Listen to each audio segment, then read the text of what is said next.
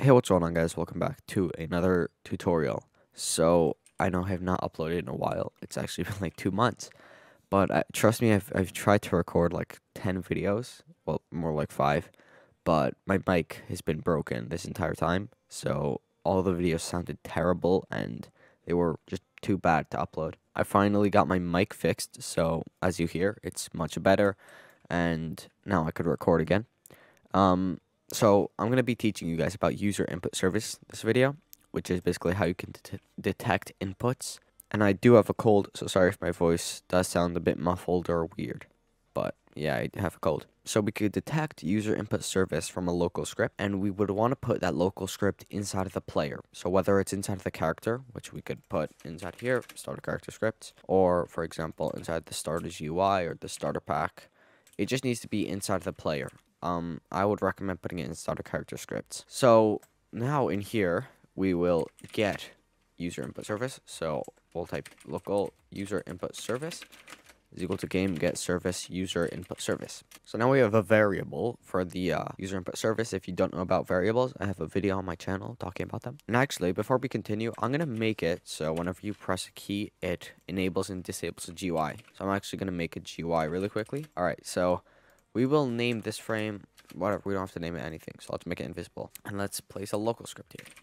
Alright, there we go. So now we will, let's make a another variable for the frame. So local frame is equal to script.parent.frame. So if we want to detect an input, we want to type user input service dot input began connect function. Um, now inside of the function parameters, we want to type input and busy.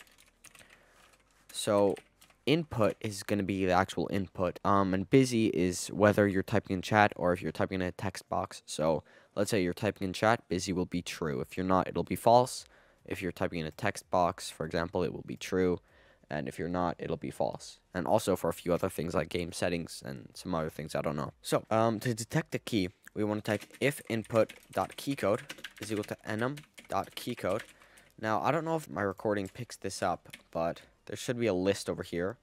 Like, um, wherever my mouse is, like between my mouse, there's a little box with list of things. Yeah, my recorder doesn't pick it up.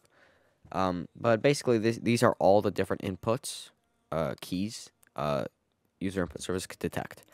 Um, I'm just going to do, so we could do like space, um, which will be the space bar, obviously. We could do A, B, C. You could do any key on your keyboard. Just make sure it's caps. I'm going to do M because this is going to toggle a menu that says, hello, welcome to the game. So now we also want to type and uh, busy is equal to false. Now you could either type busy is equal to false or and not busy. I like doing not busy because, I don't know, it's just easier to type. So this will make sure that this is only activated when you're not typing in chat. So let's say you're typing in chat so you're typing in chat and you say, hello, man. So right here you said, you typed M when typing man, so it would have activated. So that's why we're typing um, and not busy. This way it doesn't activate accidentally. So now we will make one more if statement to detect if the frame is visible. If the frame is visible, we'll make it um, invisible. And if it's invisible, we'll make it visible.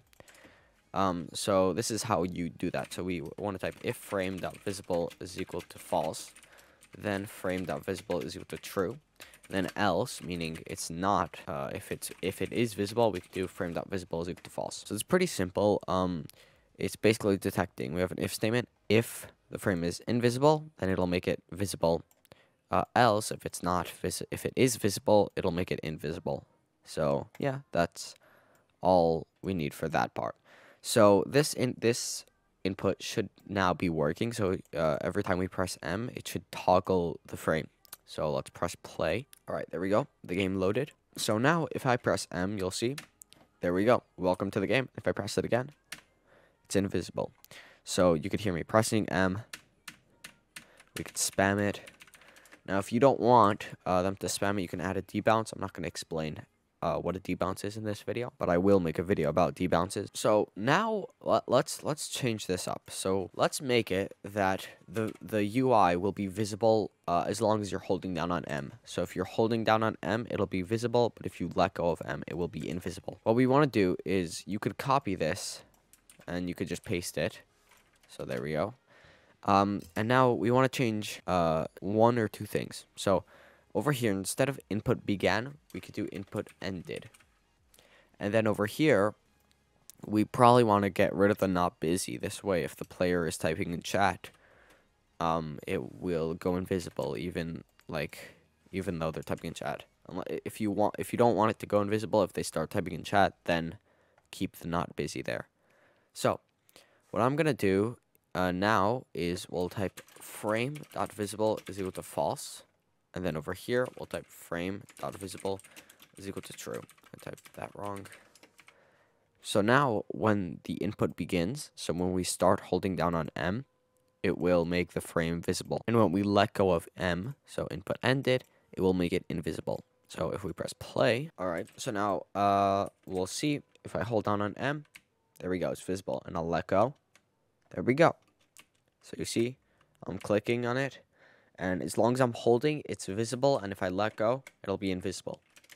So you can use this for like a shift to sprint. So uh, it's really easy to make a simple uh, shift to sprint. So we do local players equal to game dot players dot local player. Uh, and then we could do player dot character dot humanoid dot walk speed is equal to 24. And then we'll change it to 16 over here because that's the default walk speed. And now we have a shift to sprint. So you see I'm walking normally. Now if I hold down on M, I'm running. And now if I let go, I'm walking again. So you could use uh, input service for something like that. Now, there's going to be a few more things I'm going to show you you can do with input service or a few other ways to detect inputs. So I'm going to go back to making the frame visible. So let me just type this really quickly. Okay, so let's say you want to detect if the player clicks. So you can't type an in enum.keycode.mouse button 1. That's not, you can't type that. So you would want to type if input dot user input type. Whoops, I typed that wrong. user input type is equal to enum dot uh, user input type. Then you could do dot mouse button one or mouse button two or three. Uh, there's a whole list again that you can't really see on my screen recording or in the video. So there's like mouse wheel, mouse wheel for when you scroll. There's gamepad inputs. There's dot touch for mobile, I assume, or maybe a touch display. Um, there's mouse movement if you like move your mouse, but we're gonna do that mouse button one for now. So we'll press play. All right, here we are. So we're in the game. Now, if I right click, nothing happens as you see. But if I click now, it makes the UI visible because I'm detecting the mouse input.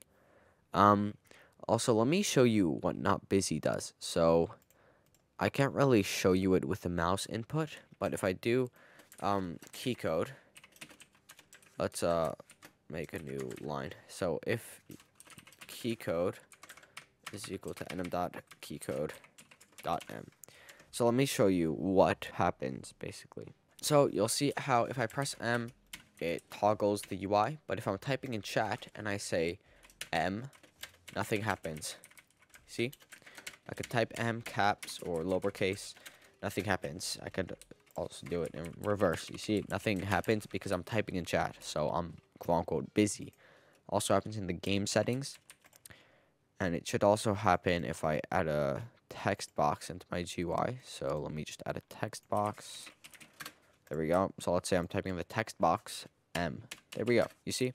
It's not actually making the UI visible, which could be good or maybe you want it to detect even if someone's typing in chat. Anyways, I think that's all there is to the video. So you can detect uh, most key inputs with if input.keycode is equal to enum.keycode dot whatever the key is. And you could detect some other inputs with user input type, which will detect, for example, mouse inputs. So uh, once again, you could do user input service dot input began um, to detect uh, when someone begins an input. Uh, so you just want to hook that up to a function. And then you could do user input service dot input ended for whenever an input ended. And there's a few other things, but these are just the important ones. So you can mess around with the other ones, but it is mainly only these. So here's a little close-up on the code. Um, and if this video helped, make sure to subscribe and like. And if you do subscribe, make sure to turn on the notifications so you don't miss the next tutorial. Anyways, thanks for watching. See you later.